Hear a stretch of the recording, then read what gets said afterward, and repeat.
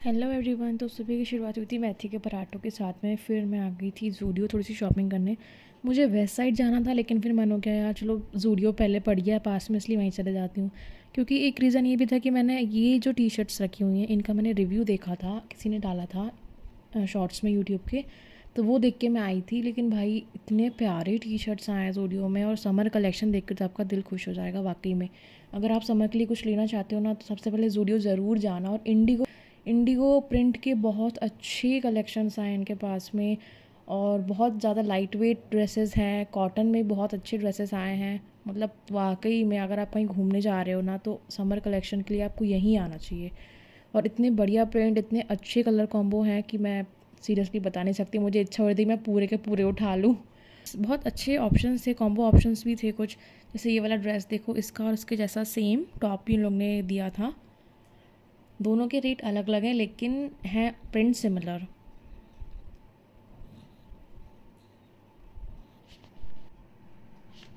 उसके बाद वाइट में भी बहुत अच्छे कलेक्शन थे, बहुत अच्छे, बहुत ज़्यादा नहीं है, लेकिन अच्छे ऑप्शंस हैं वाइट में भी कॉटन में भी। लेकिन, यार, मैं सही बताऊँ समर कलेक्शन बहुत अच्छा है लोगों का वेस्टर्न ड्रेसेस का। इवन कुर्ते भी बहुत अच्छे आए हैं कॉटन के कुर्ते भी। कॉटन के कुर्ते मैंने नहीं लिए ना देखे हैं, बस एक ट्राई किया था, लेकिन बस मेरा ज़्यादा इच्छा नहीं थी उसे लेने की। तो ये देखो, मेरा एक टी शर्ट जिससे मुझे लेने का मन हो गया तो मैंने इसे ट्राई किया है। बहुत प्यारा सा पिंक कलर था ये। और सेकेंड वन ये था, इन सब के ऊपर कुछ ना कुछ लिखा ही हुआ है। पहले जूडियो की टी शर्ट्स में और अभी के जूडियो की टी शर्ट्स में बहुत फ़र्क आ गया है भाई। और एक ये वाला ड्रेस भी देखो, मुझे बहुत ज़्यादा पसंद आया था। मैंने सोचा इसे ले लूँ, मैंने ले भी लिया था, लेकिन अब मैं ऐसा सोची थी कि मैं एक्सचेंज कर दूँ, क्योंकि मुझे थोड़ा सा लूज़ हो गया था। फिर बस प्रिंट भी इसका काफ़ी अच्छा लगा मुझे। इंडिगो प्रिंट का मेरे पास में कुछ था नहीं। और फिर ये लास्ट वाला ग्रीन ये तो मैंने लिया ही है गारंटीड लिया है। उसके बाद लिपस्टिक के शेड भी बहुत अच्छे आए हैं क्रेयॉन्स में मैट में लिप ग्लॉस भी बहुत अच्छे आए हैं। और फिर बस बिल वगैरह करा के मैं आ गई थी वापस बाहर। क्योंकि अब मुझे जाना था अर्बन ग्रॉसर पे, क्योंकि मुझे थोड़ी ग्रॉसरी शॉपिंग करनी थी।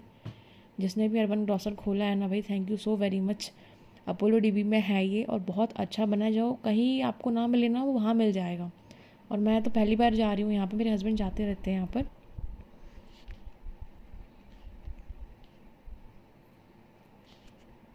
यहाँ पे ना आपको सब मिल जाएगा। बॉडी एंड बाथ वर्क्स वाली विक्टोरिया सीक्रेट सारे लग्जरी परफ्यूम्स और सारे इवन कॉकटेल मॉकटेल्स के भी बहुत अच्छे ऑप्शन हैं भाई। मतलब सारे हेयर रेंज भी मिलेंगे आपको, सारे मास्क स्पा वाले, सारे के सारे ऑप्शंस और अच्छे ऑफर्स पे। ये देखो फ्लैट ट्रिपल नाइन में दे रहे हैं ये। उसके बाद कॉकटेल मॉकटेल वाले रोक में तो यार दिल्ली आ गया था मेरा। इतने बढ़िया बढ़िया ऑप्शंस थे ना। एक ही शॉप में वो भी इतने सारे वैरायटीज़ वाह मज़ा ही आ गया। फिर घर आके थोड़ा सा मैंने ये पिया। मैंगो जूस जो मैं वहीं से अर्बन से लाई थी, क्योंकि रिफ़्रेशमेंट भी चाहिए भाई, और अब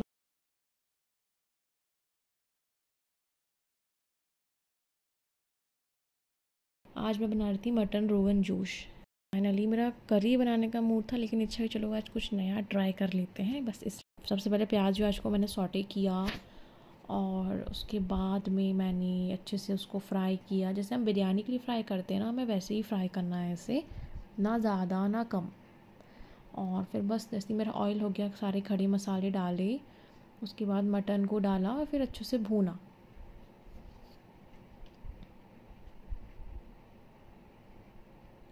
फिर यहाँ पे मैंने हरी मिर्ची भी ऐड कर दी है।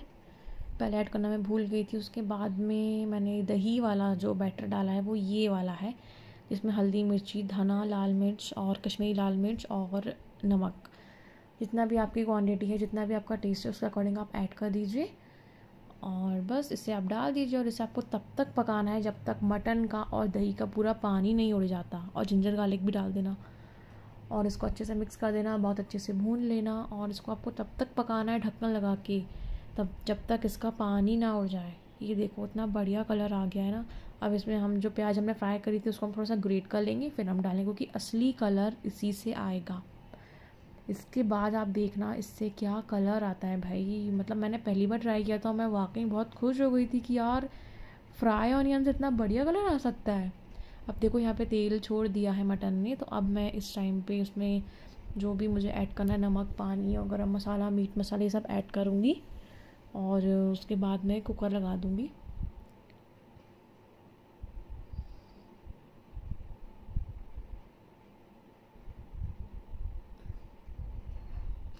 इन सब चीज़ों में ना समय लगता है, लेकिन अगर आप अच्छे से भूनोगे तो बहुत बढ़िया बनेंगे। फिर मैं यहाँ पे कोशंबीर की तैयारी कर रही थी, ककड़ी को ग्रेट वेट किया, उसके बाद उसमें मैंने दही डाला।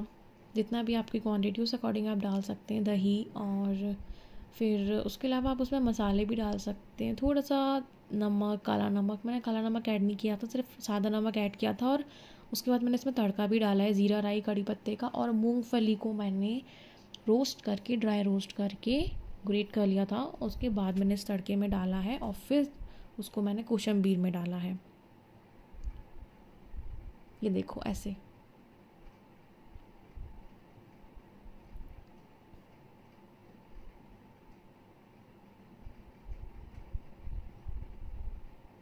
बस अब हम इसे अच्छे से मिक्स कर देंगे। और रेडी हो गया हमारा कोशंबीर।